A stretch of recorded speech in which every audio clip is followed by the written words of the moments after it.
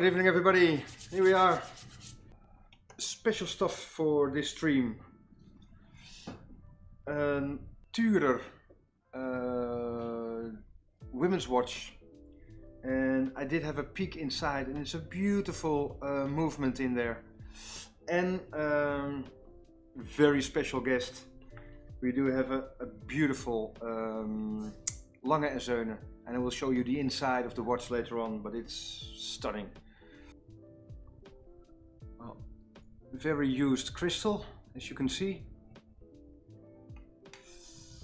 And then the movement. And I promise you, it is worth it to watch this. First, the case back.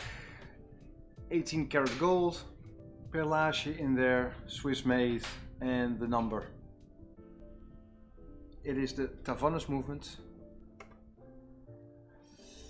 But as you can see, the Geneva stripes, perlage.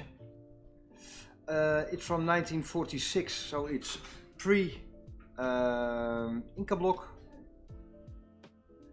But most of you probably straight recognized this here on a watch from this size to see the temperature compensated balance wheel is just stunning and to see the temperature compensated balance wheel on a movement from this size is quite uh, quite special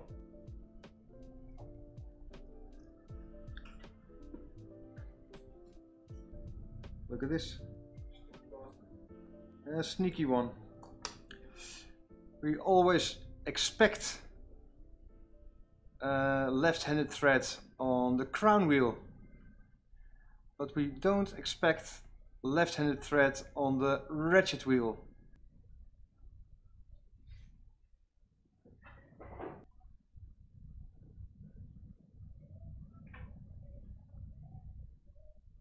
Wat? Let me check for a moment what the hell is going on. Wow.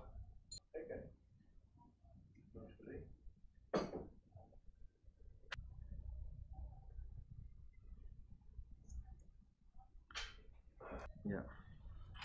I will try to remove um, the collet, which is the brass inside where the hairspring is uh, connected. But because of the temperature compensation there and there, uh, the balance wheel is, uh, you can bend it easily. So we have to be very careful with removing this hairspring. Concentrate get underneath and then wiggle wiggle.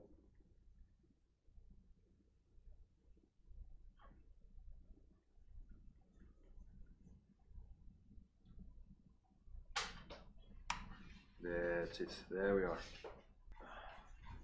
Not sure if we can save it, but we are going to try it. As you can see, where are we? It is very, very small. Here the outside one is a single winding, but the next one here is a double winding, just stuck together, because you can see there on top, they're coming apart. There they are. That's the double winding which is just stuck together. Well, now we can see the balance wheel. One pivot survived and one didn't.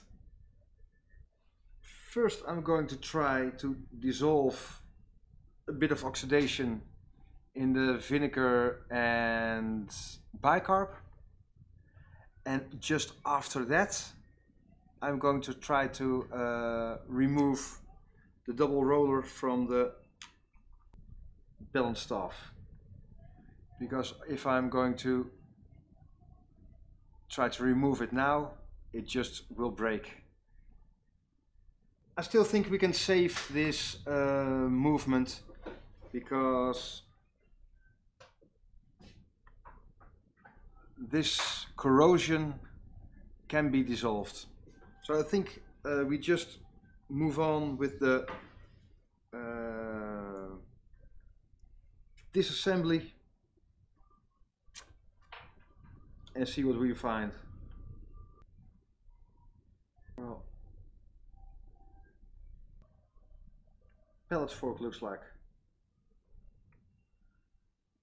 Well, at least uh, both pivots are still there.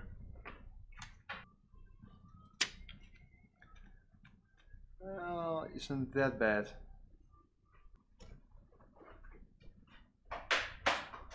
I think this corrosion is just really superficial.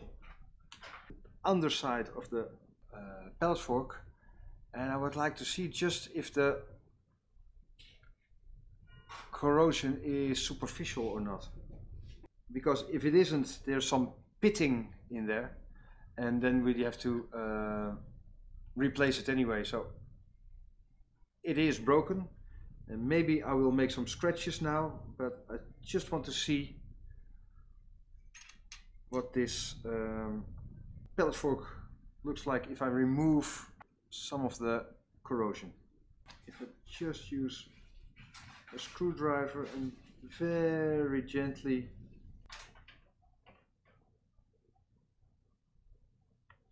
the pallet fork itself isn't really um, rusted. I think it just came from the double roller, which is uh, steel, I think. So I assume we can just save this part. It's just uh, superficial and we can uh, uh, remove it from this uh, this pallet fork.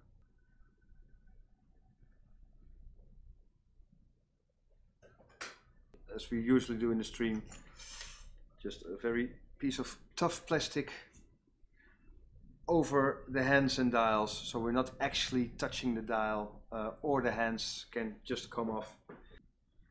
There we can uh, get this dial in a way better state than it is at the moment. There it is. And this is interesting. Um, we know that on the back side it says Tavannes Watch Company. So AS is the maker of this uh, movement and then you can see this scale here. This scale is here because it was sold without um, a dial. So as a test in the mid 40s they placed the hands on this just a movement and because they didn't have any digital time graphers yet uh, they wound it up and checked for first for an hour and then for 24 hours if it runs running on time as a quality control so that's why this scale is in here because this, these movements were sold without a watch dial. Interesting isn't it? There goes. The cannon pinion. Luckily the setting lever is still intact.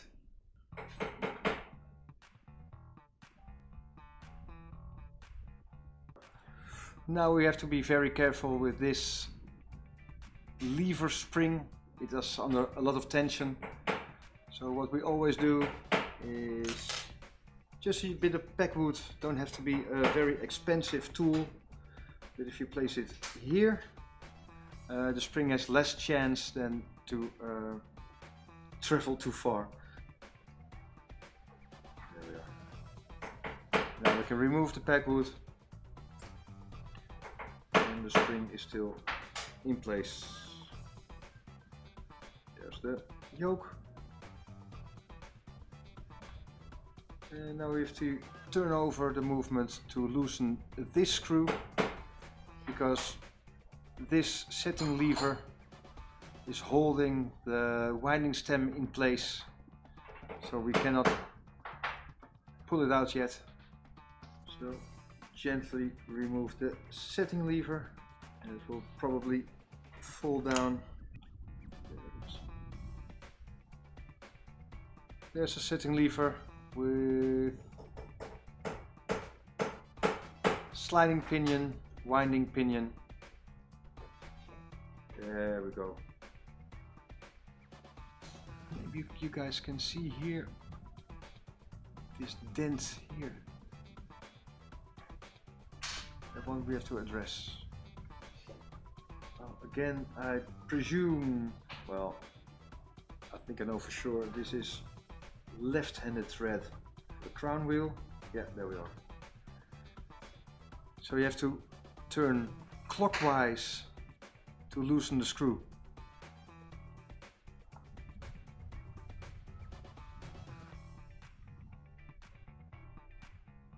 if it is not too bad.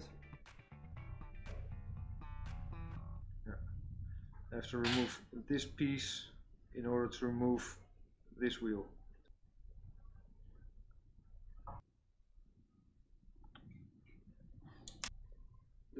Barrel bridge.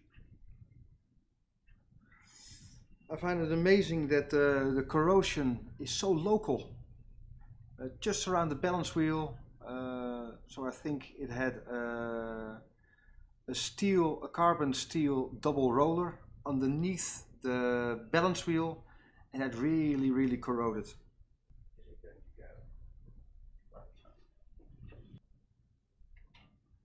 Wow, look at the state of the Oh, main spring. it looks good. Looks very, very good. shiny. all shiny and new. I have to take it out anyway, see what the um, because it's from old material. Well, we do need another mainspring because all the strength is gone from this one.